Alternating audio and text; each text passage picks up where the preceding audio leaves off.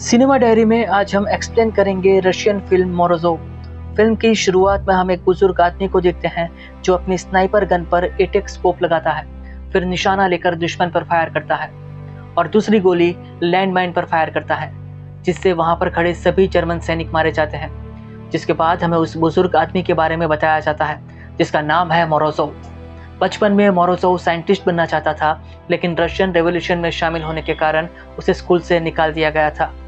इसके बाद उसे कई बार देश से भी निकाला गया। वो कई यूरोपियन देशों में रहा और यही कारण था कि मोरोजो अंग्रेज़ी, फ्रेंच और जर्मन समेत 11 भाषाएँ बोल सकता था। साल 1911 में मोरोजो को जार की हत्या के आरोप में गिरफ़्तार करके 24 साल के लिए जेल में डाल दिया गया था।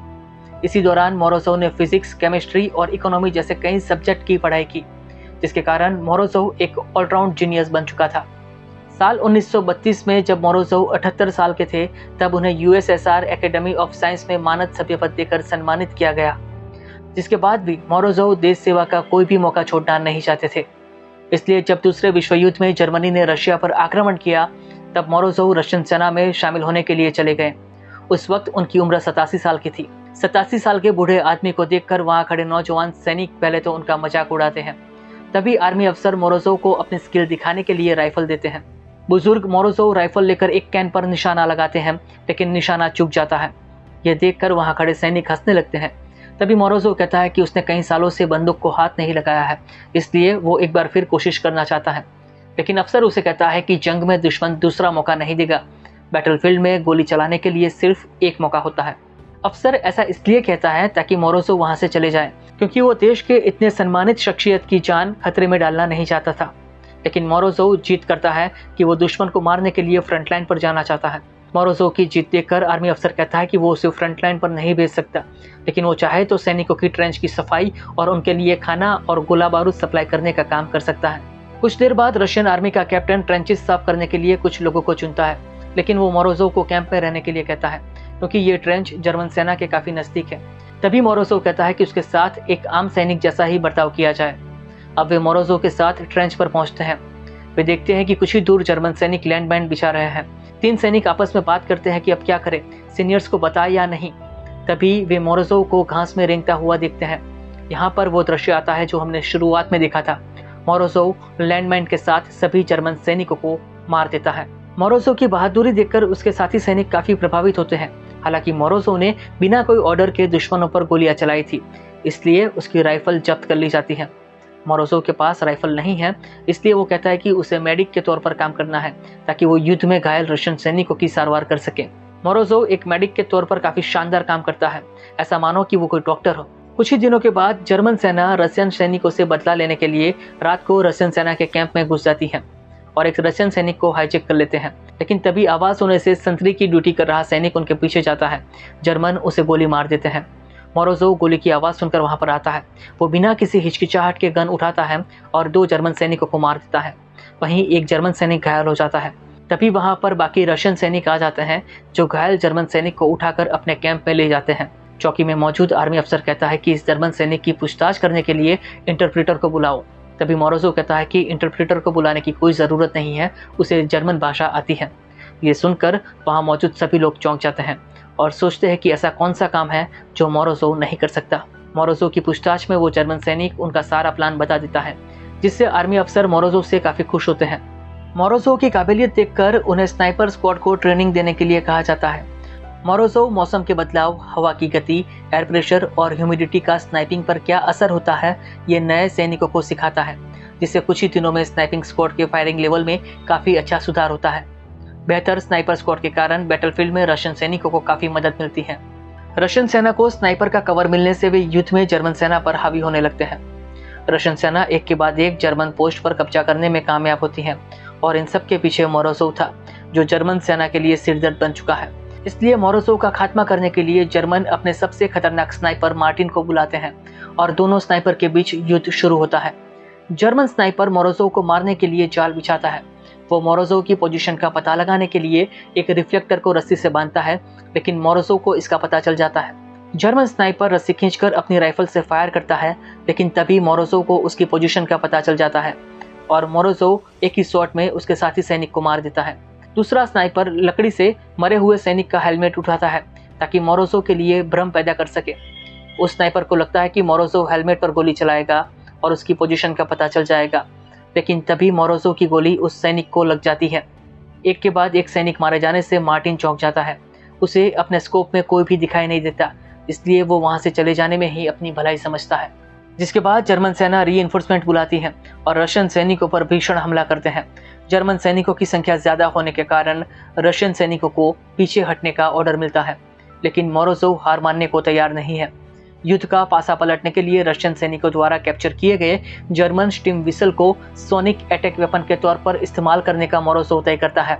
जब स्टीम विसल को एक्टिव किया जाएगा, तब सेवन हर्ट्स की फ्रीक्वेंसी पर वाइब्रेशन होगा, जिससे भयानक आवाज़ और वाइब्रेशन होगा, जिससे सैनिक अनकंफर्टेबल फील करेंगे और उन्हें दिल का दौरा भी पड़ सकता है। ये सुनकर रशियन आर्मी कमांडर को भी यकीन नहीं होता, लेकिन मोरोसो ने पहले भी कई चमत्कार किए हैं। जब जर्मन सैनिक फिर से अटैक करते हैं तब मोरोसो अपने सैनिकों को कान में ईयर प्लग डालने के लिए कहता है। जैसे ही स्टिंग विसल को एक्टिवेट किया जाता है, तब कान को चीर देने वाली आवाज़ आती है, जिसे सुनकर जर्मन सैनिक डिस्ट्रैक्ट हो जाते हैं और तभी रशियन सैनिक उन पर फायरिंग शुरू करते हैं। और यहाँ पर मोरोसो अपने दिमाग से जर्मन अटैक को रोकने में कामयाब रहता है। लेकिन जर्मन सैनिकों की तादाद लगातार बढ़ती जा रही है और रशियन सैनिकों को यहाँ से हटना बेहद ज़रूरी है। जो रशियन सैनिक पीछे जाने का रास्ता खोजने गए थे, उन पर स्नाइपर अटैक होता है। ये स्नाइपर जर्मन सेना ने मोरोजो के लिए भेजे थे। तभी दो रशियन सैनिक मोरोजो जैसी कैप लगाकर उसी रास्ते जाते हैं ताकि जर्मन स्नाइपर की लोकेशन का पता चल सके। जर्मन सैनिक उन सैनिकों पर गोली चलाते हैं, लेकिन उनकी पोजीशन भी पता चल जाती है और तीन जर्मन स्नाइपर को मार गिराया जाता है। अब जर्मन के पास स्नाइपिंग के लिए सिर्फ़ मार्टिन बचा है, जो एक रशियन सैनिक पर गोली चलाता है, जो उसके हाथ में लगती है। मार्टिन को लगता है कि उसने मोरोजो को मार दिया है। वो देखने के लिए नज़दीक आता है तभी वो सैनिक अपने हाथ में रखे ग्रेनेड की पिन खींचकर उसे ब्लास्ट कर देता है। लेकिन इस ब्लास्ट में मार्टिन बच जाता है, हालाँकि वो बुरी तरह से घायल होता है, इसलिए उसे कैंप साइट हॉस्पिटल में ले जाया जाता है। जर्मन स्नाइपर्स का खतरा टल जाने से अब रशियन सेना आगे बढ़ रही है। कुछ दिनों तक जंगल में आगे बढ़ने के बाद मोरोसो की तबीयत खराब होने लगती है। तभी उन्हें गोरीला युद्ध करने वाली रशियन टुकड़ी मिलती है, जो सभी रशियन सैनिकों को अपने गाँव लेकर आती है। गोरीला सैनिक रशियन सैनिकों की अच्छी खातिरदारी करते हैं। शाम के वक्त एक सैनिक को किसान के घर में जड़ी बूटियाँ मिलती हैं, जिससे वो मोरोजो का इलाज करते हैं और मोरोजो की तबीयत में सुधार होता है। अगली सुबह जब मोरोजो उठता है, तब उसे लगता है कि यहाँ पर खतरा है। इसलिए वो एक सैनिक को खुफिया तौर पर चेक करने के लिए कहता है। जैसे ही वो सैनिक बाहर आता है, एक जर्मन सैनिक उस पर हमला करता है, जिसके बाद जर्मन सैनिक रशियन कैंप में घुसकर सभी रशियन सैनिकों को बंदी बना लेते हैं। वहीं आर्मी कमांडर डेविड, जो कि अटारी में सो रहा था, वो ऊपर से दो जर्मन सैनिकों पर फायर करता है। और खिड़की से बाहर कूद जाता है। लेकिन गुरीला सैनिक जो उन्हें यहाँ पर लाए थे, वो डेविड को गोली मार देते हैं। दोस्तों, यहाँ पर हमें पता चलता है कि ये गाँव जर्मनों के कंट्रोल में है। अब रशियन सैनिकों को एक झोपड़ी में बंदी बनाकर रखा जाता है। वहीं एक जर्मन अफसर उस गाँव की रशियन नर्स पर रेप करने के लिए उसे लेकर जा रहा है। गद्दार गोरीला उसे रोकने की कोशिश करता है, लेकिन वो जर्मन अफसर उन्हें पीटता है। गुस्से में आकर दोनों गोरीला उस जर्मन सैनिक को मार देते हैं। गोलियों की आवाज़ सुन के कई जर्मन सैनिक वहाँ पर आ जाते हैं। गोरीला सैनिकों को अब समझ आती है। वो नहीं चाहते कि आने वाली पीढ़ी उन्हें गद्दार कहे, इसलिए वे जर्मन सैनिकों से लड़ते हैं। गाँव के लोगों भी जर्मनों से लड़ने के लिए तैयार हो जाते हैं। एक महिला रशियन सैनिकों की झोपड़ी में एक कुल्हाड़ी फेंकती है ताकि वे दरवाज़ा तोड़कर बाहर आ सके। रशियन सैनिक बाहर आ जाते हैं। तभी गोरीला सैनिक को गोली लग जाती है, जिसने अकेले नौ जर्मन सैनिकों को मार गिराया था। उस दोनों सैनिकों ने जर्मन को काफ़ी देर तक रोके रखा था, जिससे रशियन सैनिकों को संभलने का वक्त मिल गया। जर्मन अफसर और सैनिक उन दोनों गोरीला सैनिक की डेड बॉडी के पास आते हैं। तभी जर्मन अफसर को गोली लगती है, जिससे दोनों और फिर से फायरिंग शुरू हो जाती है। मोरोजो की स्नाइपिंग और रशियन सैनिकों की ताबड़तोड़ फायरिंग ने जर्मनों का सफाया कर दिया।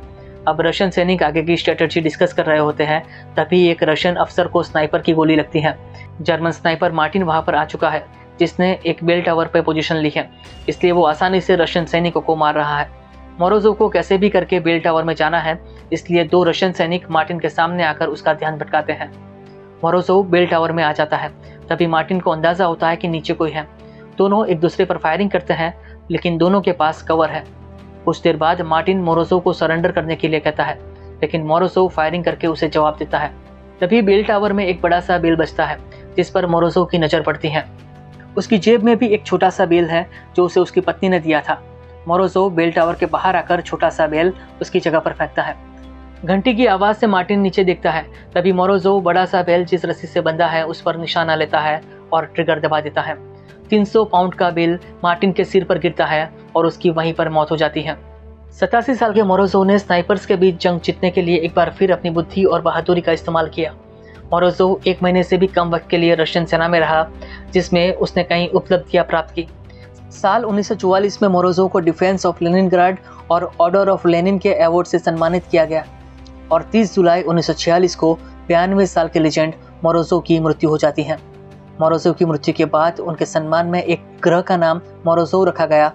लेकिन मोरोजो को सबसे बड़ी श्रद्धांजलि ये है कि वो आज भी रशिया के इतिहास में सबसे ओल्डेस्ट रेड आर्मी सोल्जर और स्नाइपर के तौर पर जाना जाता है। और इसी के साथ सच्ची घटना पर बनी ये फ़िल्म समाप्त हो जाती है।